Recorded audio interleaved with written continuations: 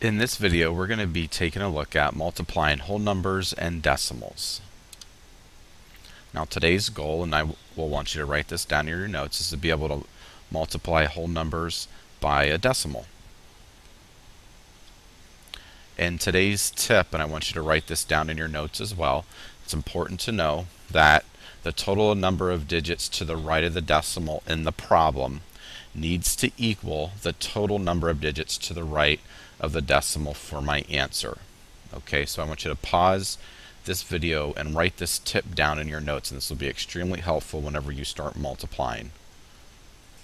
Now we're going to take a look at some problems, and what I will do is do a couple for you, we'll do some together, and then I'll have you do some all by yourself. So we're going to multiply whole numbers by decimals. Now, what we're going to do first of all, we will always write the problem out. I want you to use graph paper whenever you write the problem out. So we're going to take a look at a problem of 1 and 3 tenths, and we put our decimal, we can even put our decimal in the same box as our digit. 1 and 3 tenths times 88. Okay, now what we'll do is we will multiply okay, these two numbers together. Now it's important to know that even though you're working with decimals, multiplication facts are still the same. Okay. However, the first thing that we want to do is we're going to record in parentheses how many digits to, are to the right of this decimal. So this factor is 1 and 3 tenths. So I have one digit to the right of the decimal for my top factor. I don't have any for this factor, obviously, because it's a whole number. So we're going to put that one, and we'll come back to that one in just a second. So the first thing you want to start doing, we've multiplied two digit by two digit numbers, three digit by two digit, two digit. We'll just do that. We're not going to drop our decimal. It's a little bit different with multiplication. So we're going to ignore that decimal and then we're going to multiply 8 times 3. That's going to give us 24. We'll put our 4 in the ones place and we'll carry our 2. Then we have 8 times 1 gives us 8 plus 2 gives us 10. Still ignoring that decimal. Now what I will do is erase the numbers that I carried. I'll use a different color ink signifying another step.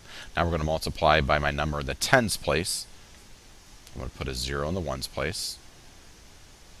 Now I'm start now I'm ready to multiply. 8 times 3 is 24. Put my 4 there. Carry the 2. Still ignoring that decimal. 8 times 1 is 8 plus 2 is 10. So we have our two partial products written out. We're still going to ignore a decimal. We're not going to worry about it just yet. Now what we're going to do is add our two partial products. Now we have 4 and 0 gives us 4. 4 plus 0 gives us 4. 1 plus 0 gives us 1. And then we'll bring down our 1. Now if you remember our key tip, which is the total number of digits to the right of the decimal in the problem. These equal the total number of digits to the right of the decimal for your answer.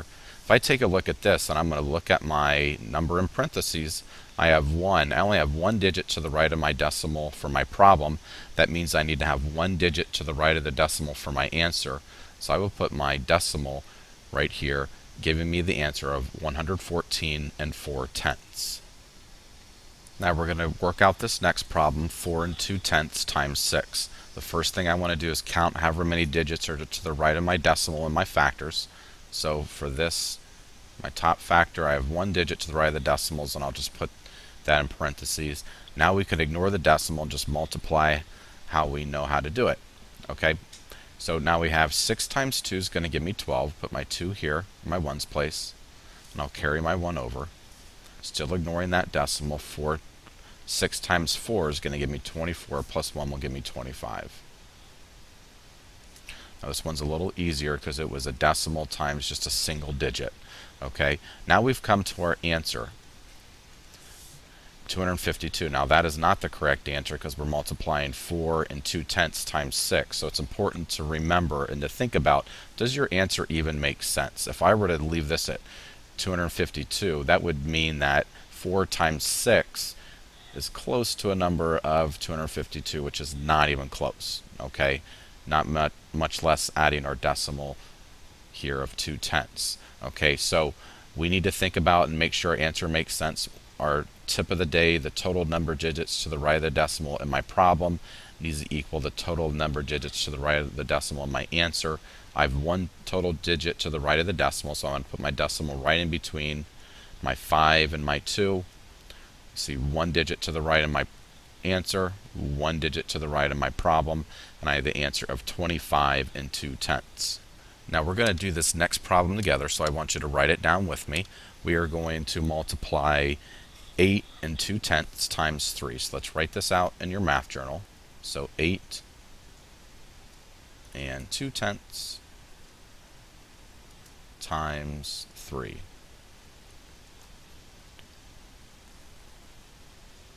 Okay, now the first step, figuring out how many digits are to the right of the decimal in your problem. So I have one digit to the right. I'm going to put that in parentheses. That'll help me remember that I have one digit to the right of the decimal in my problem. Okay, now from here we're going to start multiplying. 3 times 2 is going to give me 6. 3 times 8 is going to give me 24. Okay, this is not my answer just yet. That would mean 8.2 times 3 gives me a number of 246, and that does not make sense at all. Okay, we have one digit to the right of the decimal in my problem, so that means we need to have one digit to the right of the decimal for my answer.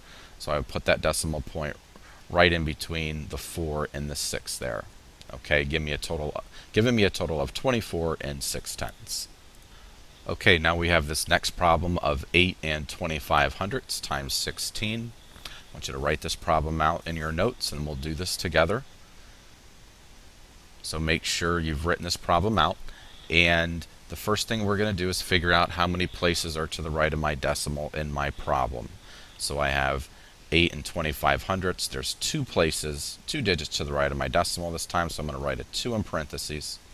Okay, now we can start multiplying, ignoring that decimal. Okay, three digit by two digit problems. Okay, so the first step, 6 times 5 is going to give me 30. Put my 0 here, carry my 3. The next step is multiplying 6 times 2 is 12, plus 3 is 15. Put my 5 in the tens place and carry my 1. The next step, 6 times 8 is 48, plus 1 is 49. And this is a partial product, remember. I'm not finished with my problem just yet. Okay, what I will do now is just erase everything I've carried over.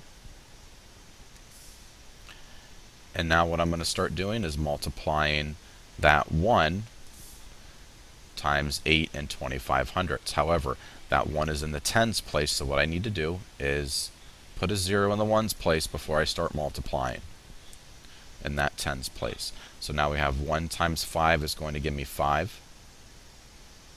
1 times 2 is 2. And finally, 1 times 8 is 8. This is the other partial product. So I have two partial products. Now what we will do is start adding these two partial products together. We've worked long and hard with multiplication. We don't want to make silly addition mistakes really, really important to take your time. So 0 plus 0 is going to give me 0. 5 plus 5 will give me 10. I'll put my 0 in the tens place and carry my 1 to the hundreds place. 1 and 9 gives me 10, plus 2 is 12. Put my 2 in the hundreds place, carry my 1. 1 plus 4 is 5, plus 8 is 13. Okay, now we're not finished yet. What we need to do is see however many digits are to the right of the decimal in my problem, and I have two digits. Okay, so that means I have one digit, two digits now that need to be to the right of the decimal. So I will take my decimal point and put it right there between the 2 and the 0, giving me a grand total of 132. It's really important to make sure that your answer makes sense, and that decimal will help you know that. Originally, I would have the total of 13,200, which would not make sense, even if you ignore the number to the right of the decimal of 8 times 6, would not give you anything close to 13,200. However, we put our decimal where it needs to go, and 132 would be our answer. Now, what I want you to do is to work these two problems out on graph paper all by yourself. Write the problems out, work them out, And when you're finished with that, you can press play, and then I will have the answers for you. So I want you to pause the video now. Okay, now that you've worked these two problems out, you should have these answers. For the first one, 66 and 56 hundredths. You can see I had two digits to the right of the decimal for my problem, and then two digits to the right of the decimal for my answer. The next one is 9 and 17 hundredths times 44 gives me 403 and 48 hundredths. Okay, so you can see all the work that I did. Check your problem, make sure it matches up with mine. If you have any questions about this topic, please come and see me.